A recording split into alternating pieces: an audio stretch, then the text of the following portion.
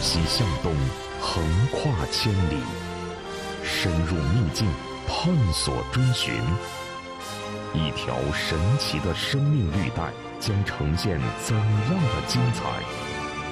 穿越北回归线，地理中国即将播出。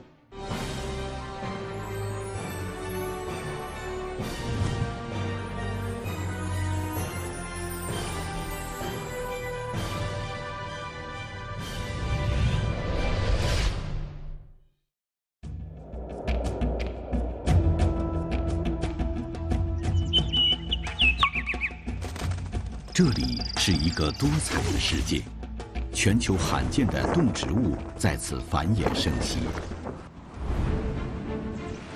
特殊的环境、丰饶的植被、密集分布的自然保护区，共同孕育出北回归线上独特的生物王国。本期节目，考察队将从广西崇左出发，一路向东，穿越北回归线中国段上的广西弄岗国家级自然保护区、广西崇左白头叶猴国家级自然保护区、广西大瑶山国家级自然保护区，位于广东省的鼎湖山国家级自然保护区。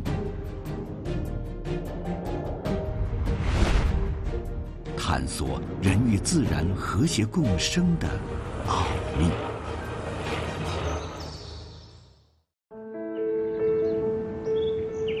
经过长途跋涉，考察队到达的第一站是广西弄岗国家级自然保护区。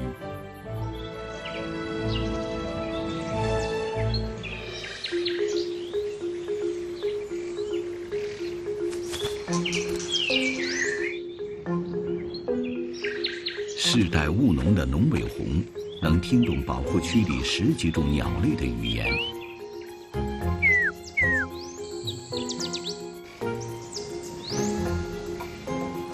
他每天要做的事，就是按照特定的线路，带领游客去观看和拍摄保护区里的各种鸟类。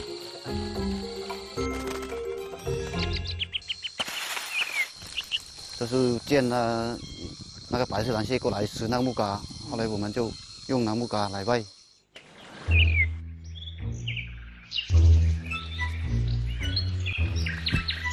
嗯，今年，好好。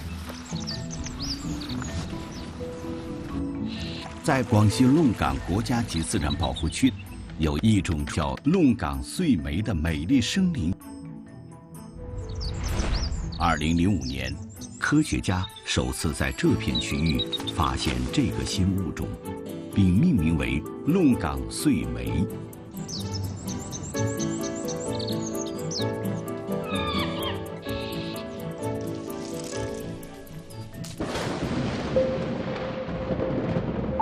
广西弄岗国家级自然保护区处于热带和亚热带过渡地带的北回归线地区，雨量充沛，气温适宜，为生物种群的多样性提供了得天独厚的自然条件。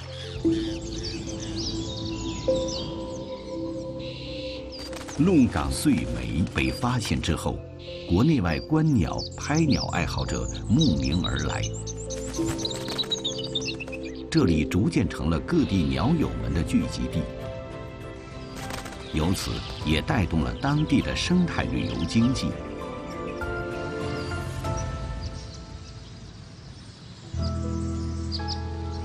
进那个鸟点的时候，要根据这些鸟的习性、它的环境呢，你要搞一下。考察队发现，弄岗国家级自然保护区范围内。越来越多的村民正通过为游客们引路及讲解鸟类知识，自愿参与到鸟类和生态系统的保护工作当中。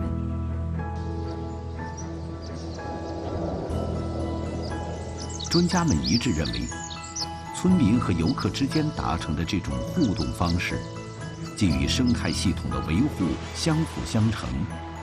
也对陆地生物多样性的保护和开发具有非常积极的意义。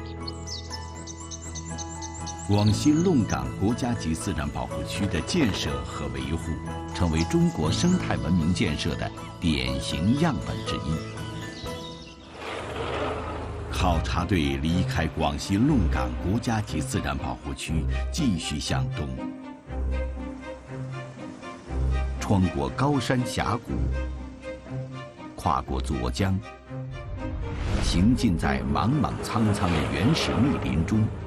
经过几个小时的颠簸，终于抵达了一百千米外的广西崇左白头叶猴国家级自然保护区。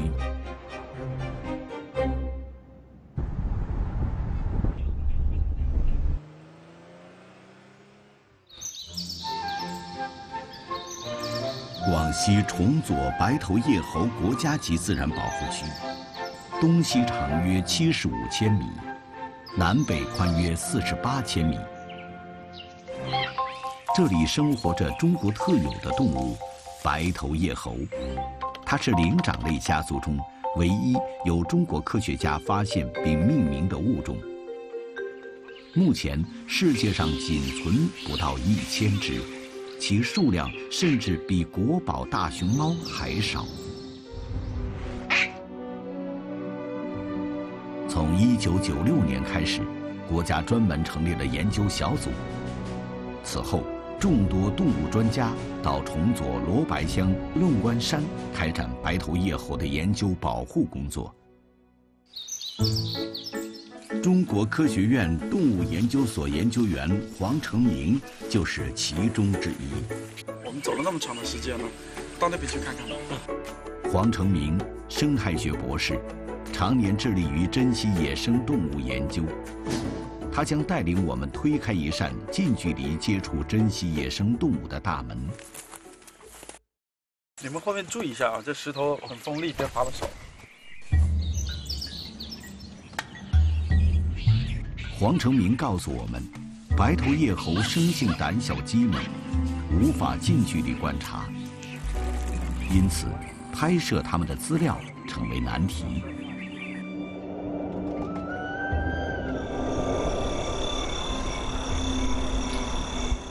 为了更好地观察白头叶猴猴群的生存形态，凌晨五点，考察队和当地常年拍摄白头叶猴的摄影师蒙新良走进了白头叶猴的活动区。那些大猴的出来呢，早上先去理一下毛，就像人一样，起床了就呃漱口刷牙，就开始去采吃了。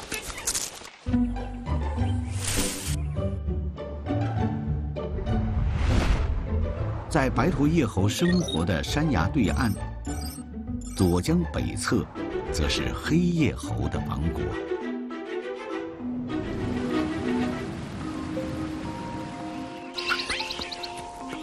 虽然有着很近的亲缘关系，却因为一江之隔，老死不相往来，并且呈现出不同的相貌特征。然后我们可以到那边去看看去。经过一番考察，专家了解到，这种奇特的现象可能与左江沿岸的地质变化密切相关。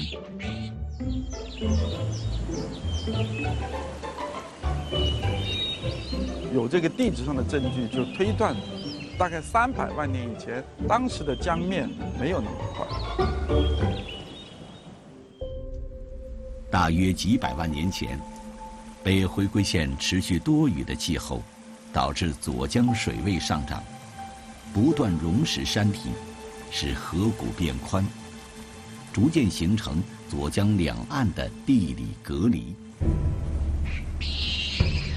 黑叶猴为了躲避天敌，使毛发的颜色与周围黑白相间的山体更为接近，从而诱发基因突变。最终演化成现在的模样。白头叶猴的祖先都是黑色的，那么在往北扩散的过程中，适应环境，发生一些各种各样的突变。大自然是神奇的，自然环境的微小而持久变化，有可能带来生物种群的进化差异。山河变迁而形成的地理隔绝，在中国北回归线上形成了物种基因突变的生物奇观。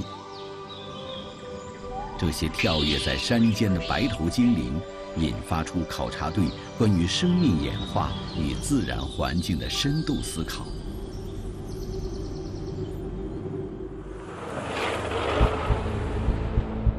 伴着这些思考，考察队继续向东。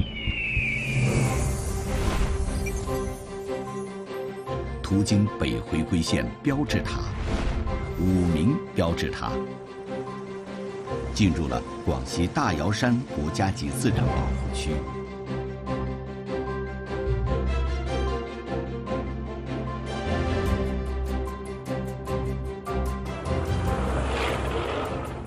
我们要寻找的标志性物种——瑶山鳄蜥，就生活在这里。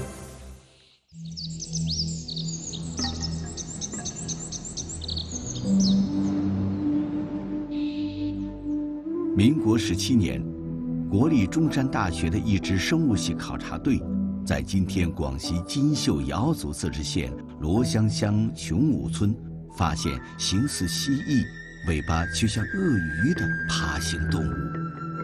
一九三零年，国外专家将它认定为新科新属新种，并以此种蜥蜴外貌颇像鳄鱼而名。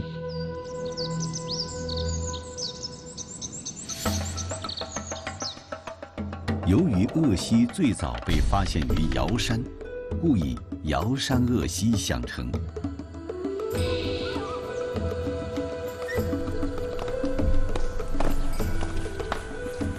鳄蜥在经过第四冰期以后得以存活下来，跟它所需要的生存的环境有很大的关系。大瑶山这个地方，它地处北回归线上，是北回归线上的一个温室。黄华苑，广西师范大学生命科学学院副教授，多年从事瑶山鳄蜥生境状况研究工作。他将带领我们探寻瑶山鳄蜥的踪迹和野外生存环境。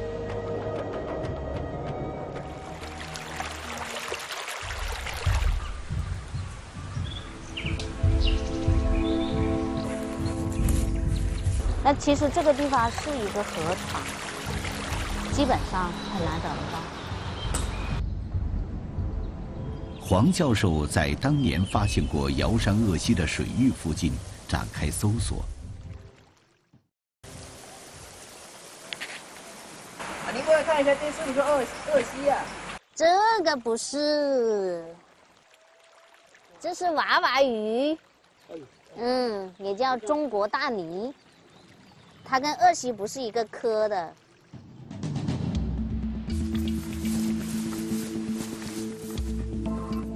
数次翻山越岭寻找，黄教授依然没有找到鳄蜥的踪迹。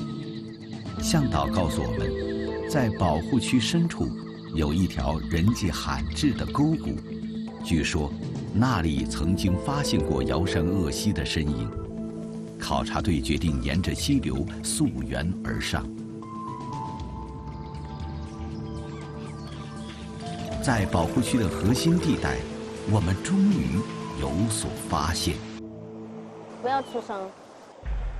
经过千辛万苦，考察队终于在一条河谷上的树枝丛中发现鳄蜥。这条应该是雌性的，啊，你看它的颜色都比较比较浅。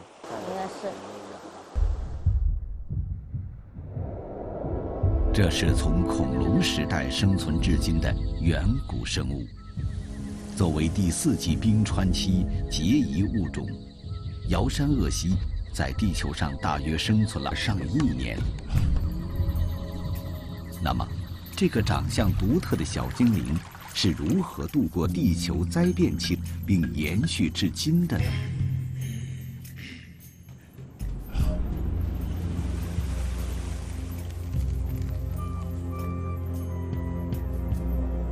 研究发现。大约在二三百万年前，随着冰川期的到来，严寒席卷了整个欧亚大陆，地球上很多物种没能躲过这场劫难，而大瑶山恰巧位于北回归线热带与亚热带的过渡区，相对适宜的气候加上幽深的峡谷地带，为它们提供了一个较为稳定的生存环境。因此，这里成为了瑶山鄂西最理想的避难所。在地球北回归线沿线很多地方，气候干热，生物寥落，但是总能看到史前脊椎动物蜥蜴的身影。大小形态各异的蜥蜴，在严酷的环境中，不惜改变自己的体型和习性，以适应大自然的千变万化。谱写着一首首生命的赞歌。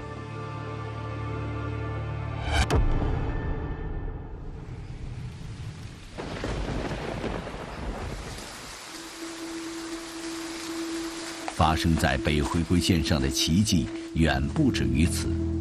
生物种群繁多的大瑶山，拥有多种世界级的珍稀物种。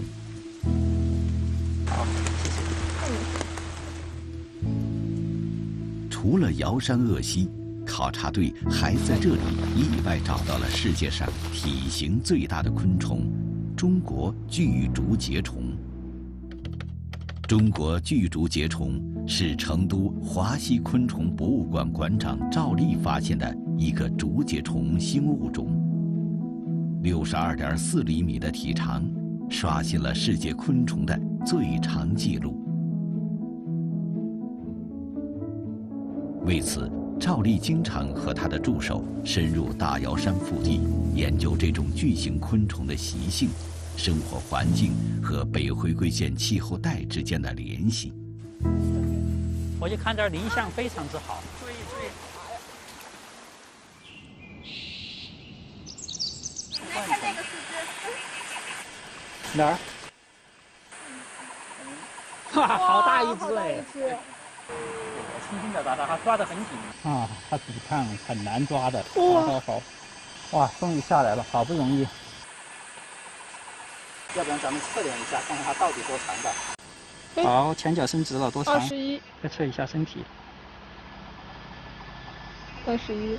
三十一加上二十厘米，有时候它足足这条虫子有半米长了。中国巨竹节虫种群数量稀少。目前发现只分布在广西境内北回归线附近，海拔一千至一千四百米的山地。它改变了过去人们对巨大的昆虫只分布在热带地区的普遍认知。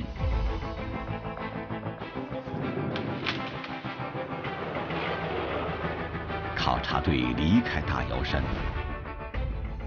途经以丹霞地貌撑起的太平狮山国家森林公园，天然大养护盘龙峡生态旅游景区，到达了四百多千米外的鼎湖山国家级自然保护区。从大瑶山到鼎湖山，我们明显感到地势逐渐变得平缓，人口也更加密集。北回归线在它的北侧，热量丰富带来了这一块比较独特的一些植物啊、动物啊。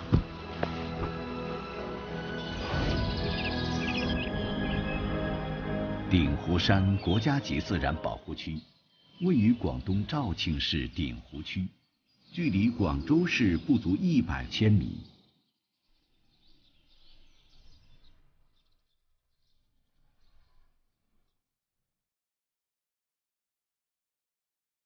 作为华南生物多样性最丰富的地区之一，这里生长着两千五百多种高等植物，约占广东省植物总数的四分之一，成为我国生态保护研究的重要基地。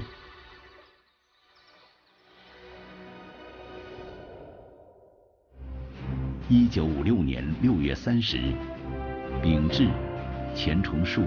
等五位著名科学家，率先在第一届全国人民代表大会第三次会议上提出了关于请政府在全国各省区划定天然森林禁伐区，保存自然植被，以供科学研究的需要案。该提案获得通过。是年，鼎湖山被确立为我国第一个自然保护区。成为了我国自然保护的先驱和样板。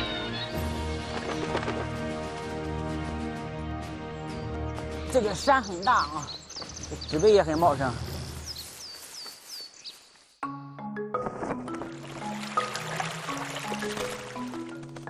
像那边那一片，经常有白藓活动了。八零后的范宗济。自北京林业大学自然保护区学院毕业之后，就来到这里。当很多年轻人都向往城市的车水马龙时，他却偏偏爱上了城市与自然融为一体的鼎湖山。他的主要工作就是监测保护区内的动物和植物。这红外相机主要。还是安装在就是有动物活动的地方。这儿有一条沟，动物呢经常过来喝水。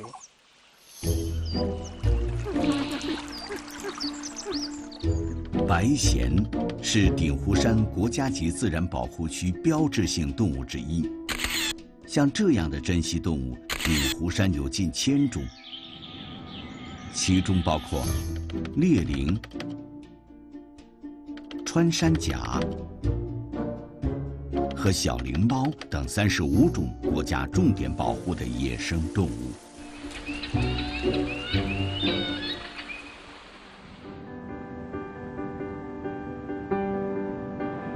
考察队了解到，在中国所有的生态保护区中，鼎湖山国家级自然保护区是离城市最近的一个森林类型保护区。城市在林中，瀑布在城中。森林与城市融为一体，这里成为自然与城市和谐共存的典范。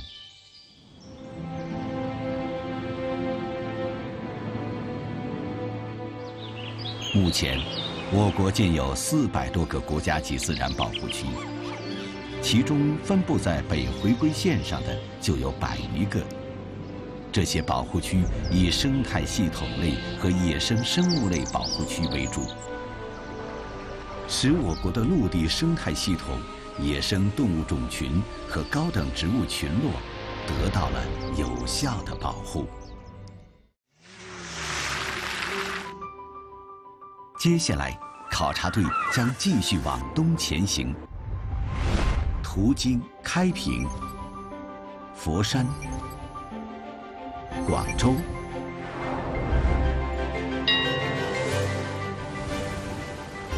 走进生活在北回归线江河湖海之间的人们，探寻碉楼的前世今生，记录桑基鱼塘千年不衰的荣光，品读广州港的沧桑变幻。晋南珠江三角洲的山水形胜，海纳百川。